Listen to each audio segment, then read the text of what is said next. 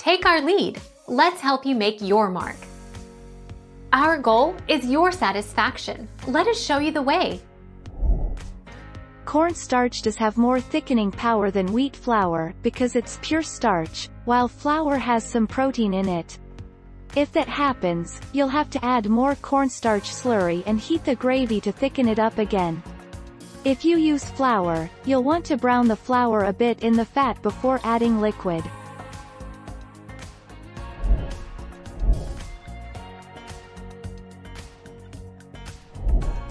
Take our lead. They then gelatinize, firming up when they cool down. Because cornstarch is pure starch, it has twice the thickening power of flour, which is only part starch. Thus, twice as much flour is needed to achieve the same thickening as cornstarch.